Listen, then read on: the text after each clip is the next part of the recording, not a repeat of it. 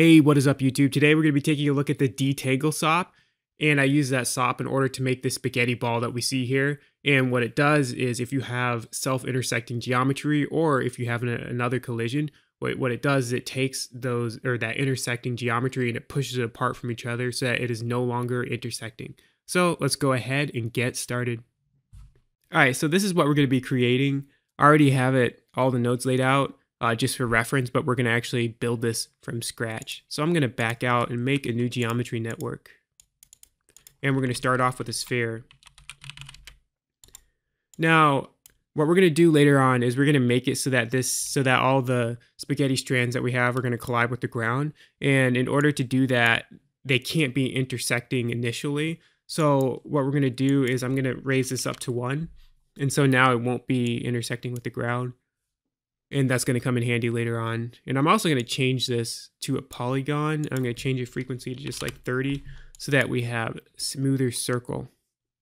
Now, in order to actually create the spaghetti, what we're going to do is we're going to take a whole bunch of semicircles and we're going to copy them onto the sphere, onto the sphere, but we want to do it from the center point.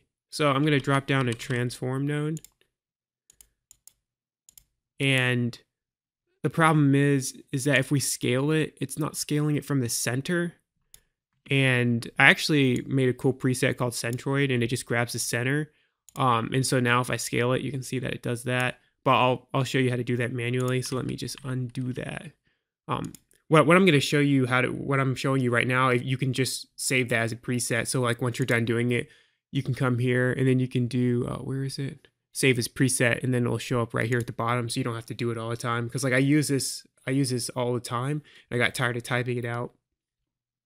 Uh, but what we need to do is we need to center the, the what's called the pivot translate. So if we type in centroid and then it needs to know which geometry so we're just going to do zero. And then we're going to do d underscore and then x and they need to be capitalized and so that's going to actually grab the center, but of course it's on zero for that axis, so that's fine. Uh, so we're going to copy that and then, what, where'd it go? Oh, whatever. I just uh, control Z that. And then we're going to paste it in the middle one, and then we're going to paste it again. And what I'm doing is I'm just hitting tab to go to the next one. And so obviously for the center or the middle, it's going to need to be Y because that's the Y axis. And then for this, it's going to need to be Z. And now um, now it's in the center of our, now if I click this right here, you can see that now the the handle is at the center of our geometry. And then you could just go up here and hit save as preset. And then you could just do what I did. So now whatever you need to center the pivot, you could just come here and you could just select centroid and it'll automatically snap to the center. All right, so now we're gonna scale this down. I'm just gonna go to like 0.05 so that's really, really small. And then I'm gonna drop a scatter node and the amount that you set for the force uh, total count, that's going to be the amount of strands that we have. Um, we're going to keep it pretty small for now. So I'm just going to go ahead with 100. And then we're going to do copy to points. And I'm going to wire, it says target points. So the target points needs to go into there. And I'm going to create a circle. And let me just look at my other screen for a second. All right, so I'm going to switch this to the ZX axis and I'm going to make this 100 divisions so that it's smoother. And let's set it to open arc and I'm just going to do like 300 degrees. All right, perfect. And so now that is a semicircle. Uh, the reason why I did this is because like with the spaghetti simulation, I wanted like the ends to be flying around. So like I, I didn't want to be a perfect circle. So that's why I did that. Oh, uh, let's see. And then we're going to take this and we're going to copy a whole bunch. But of course, um, they're all in the exact same location. And that's just because we need to randomize uh, the rotation. Uh, we don't need to rotate this, or we don't need to randomize the scale though, just the rotation for now. So what I'm going to do is I'm going to drop down a node called attribute randomize. And we're going to randomize the orient attribute. So we're going to switch that to orient and it's a quaternion. So that needs to be four dimensions. So let's go ahead and switch that to four. And we can already see that it's looking much better, but I'm just going to go ahead and put this to minus one, minus one, minus one, uh, just to give it more variation. And that is looking a lot closer to what we want. Uh, let me take this sphere node. I'm actually just going to drag it out a little bit further. And we're going to use a ray sop to project these circles back onto the sphere just to make sure it matches it a lot more closely. So we're going to plug the left input into that copy to points and the right input into the sphere. And we're going to switch it to minimum distance. And now they are projected onto here and I don't want to see this annoying guide, so I'm going to turn it off. And we can see that it's a little bit jagged and that's just because the, what's called, we're, race, we're raying it onto the sphere and the topology isn't super high. So I think I'm just going to drop a subdivide. Yeah, it looks better. Yeah, yeah, you can see that's a lot smoother already. Um, I think we're actually going to do this one more time or repeat that process one more time. So I'm going to drop down a smooth node just to smooth it a little bit. And then I'm going to resample it. And let me check my other screen. So uh, I had this set to 100. So instead of maximum segment length, I'm going to do maximum segments and I'm going to set it to 100. And I think the the reason why I'm going to use another resample is just to make sure the spacing between the points is even uh, I think they, they already look pretty even now, but I'm just going to throw it in just in case. But yeah, okay, so I think that's just a little bit better. Uh, I think the reason why I had it on my other screen is because when I was working before um, on my actual spaghetti project, the what's it called, uh, when it was at this stage right here before the resample, um, because I had like random uh, p scale. I had a random p scale, so some of my spaghetti strands were bigger. And so when it projected it back on, the distance between each point kind of got messed up. So I had to resample it just to make sure that each point had the same distance. But it seems to be fine now, so I'm not going to worry about it too much. Um, so like I said, we're going to repeat the same process. So I'm going to copy that ray sop. And um, actually what I did was I alt clicked it and dragged it while you're holding alt. And then if you release it there, it's going to copy it again. And uh, it is plugged into the right space. All right, nice. And actually didn't really seem to do too much, but I'm just gonna, um, like I said, I'm just copying my other network and what's I, last time I needed to actually protect it to make it match more evenly, but it seems to be fine now. Um, so we need a rest position. The way the detangle sop works, it needs a rest, or it needs an old P position. Uh, let me actually just drop it down so I can show you. So detangle, right here, it says previous position and it says the incoming uh, P attribute is considered the new deformed version of the geometry.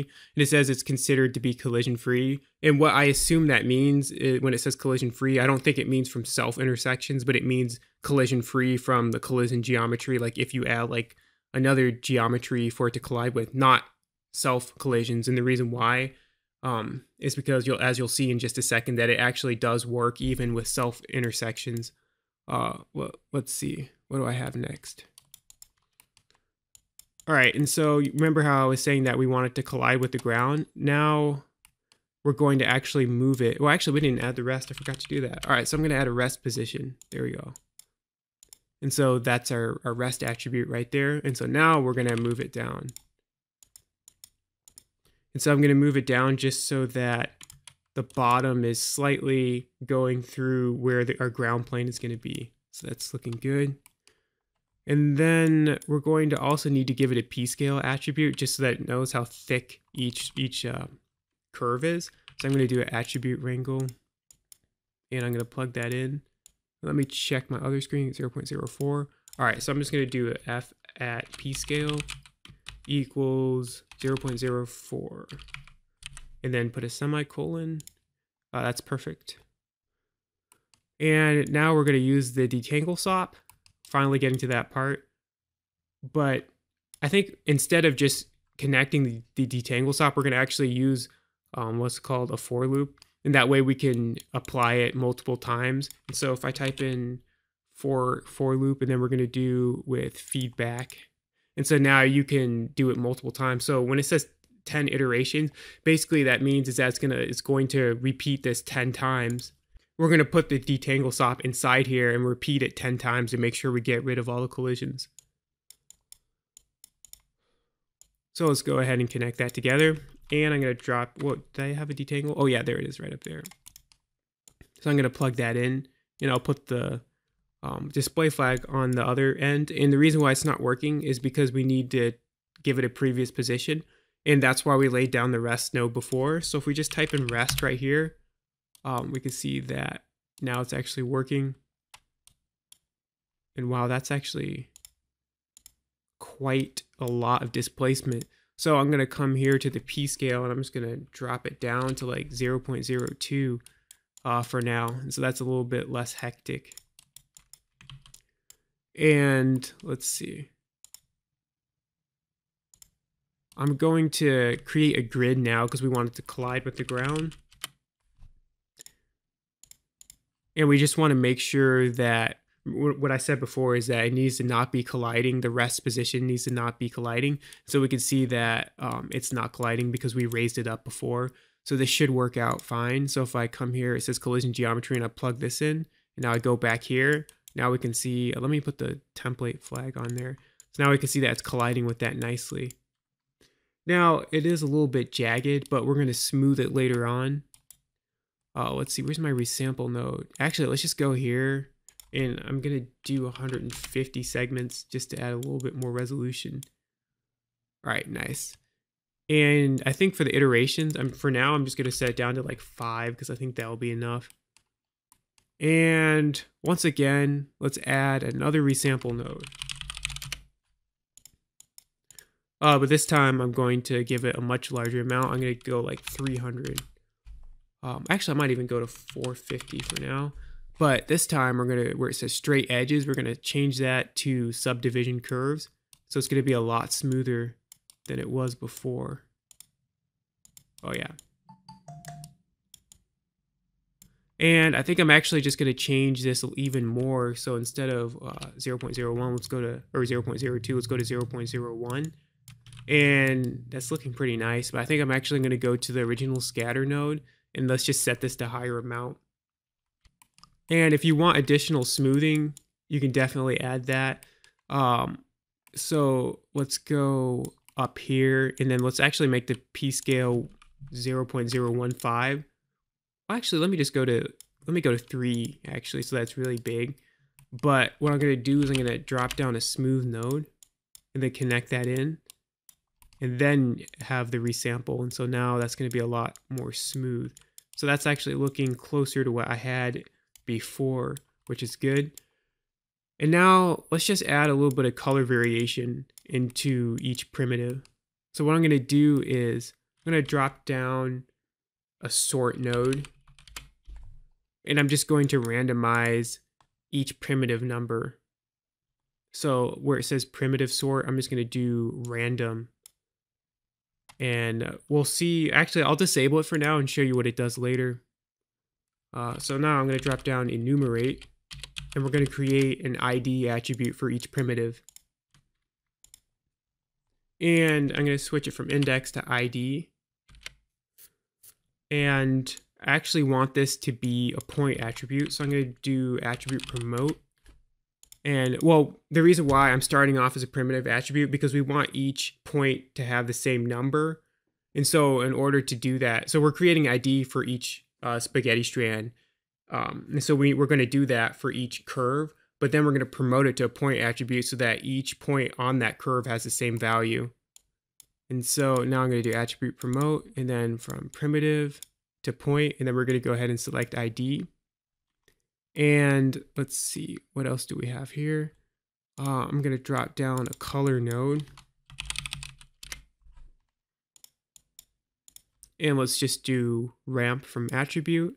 And I'm going to switch it to, oh, here's a gear icon. I'm just going to do white water for now. And then we're going to use the attribute that we just created.